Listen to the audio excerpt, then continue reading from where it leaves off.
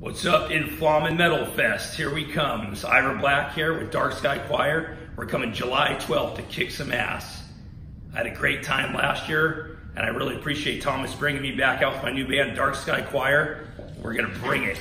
So we'll see you on July 12th, in Flammen Metal Fest.